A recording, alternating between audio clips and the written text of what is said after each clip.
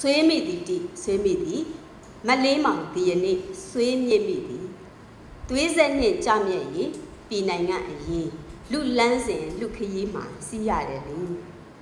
ဩဂုတ်လ12ရက်နေ့ကမေရီလန်းပြည်နယ် Rockville မှာစာပေဟောပြောပွဲကျင်းပခဲ့တာပါ။ပြည်ပရောက်မြန်မာတွေအနေနဲ့မြန်မာစာပေယဉ်ကျေးမှုနဲ့အမြဲတမ်းထိတွေ့ဆက်ဆက်နိုင်ဖို့အမေရိကန်ပြည်ထောင်စုကိုရောက်ရှိနေတဲ့စာရေးဆရာဆရာမတွေနဲ့တွေ့ဆုံပြီးစာပေဟောပြောပွဲကျင်းပတာပါ။စာပေဝါသနာရှင်တွေနဲ့တွေ့ဆုံရတဲ့အတွက်ဝမ်းနဲ့ဝမ်းသာဖြစ်ရတယ်လို့စာရေးဆရာထင်လင်းဦး Wisdom Villa ကအခုလိုပြောပါတယ်ဝမ်းနေစရာကောင်းတယ်ဆိုတာကဘာလဲဆိုတော့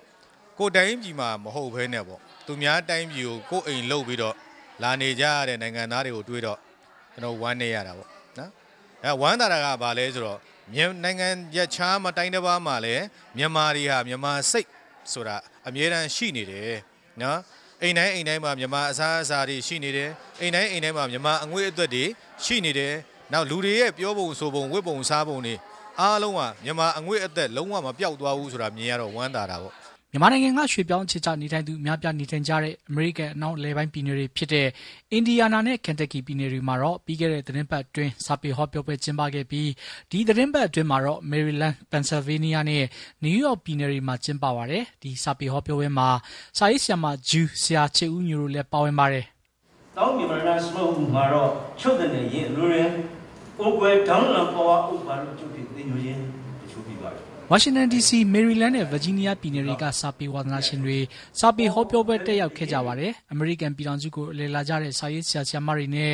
စာပေဝါသနာရှင်တွေ အမြဲတမ်း ထိတွေ့နိုင်ဖို့ အခုလို စာပေဟောပြောပွဲမျိုး အမြဲကျင်းပဖို့စ조사သွားမယ့်အကြောင်း စာပေဟောပြောပွဲ စီစဉ်သူဦးဖြစ်တဲ့ စာရေးဆရာမမင်းကြီးက အခုလို ပြောပါတယ်။ မြန်မာနိုင်ငံကိုပြန်ဖို့အလွယ်တကူပြန်ဖို့ဆိုတာကခဲရင်တယ်လေအဲ့တော့ဆယ်ရေးဆရာတွေများဒီကိုရောက်လာရင်သူတို့တွေကဒီကနေအထိုင်ရင်သွားမပြက်သူတို့နေနေတဲ့နေရာလေးမှာလာပြီးတော့ဟိုဆယ်ရေးဆရာတွေဆရာမြန်မာနိုင်ငံနဲ့ပတ်သက်တဲ့ဗဟုသုတတွေသတင်းစကားတွေကိုရတယ်เนาะအကျိုးရှိတဲ့ကျမတို့အတွေ့အကြုံတွေကိုเนาะသူတို့ဆရာတဆင်ရတယ်အဲ့ဒါဟာအင်မတန်ကိုအကျိုးရှိတယ် အော်ဒီမှာရှိတဲ့မိသားစုတွေဝိုင်းဝန်းပြီးတော့ဒီပွဲလေးဖြစ်အောင်လုပ်ပြပေးတယ်လုပ်ပေးတဲ့အခါမှာကျွန်တော်ရှိတဲ့အတိုင်းပဲဒီမှာရှိတဲ့မိသားစုတွေအားလုံး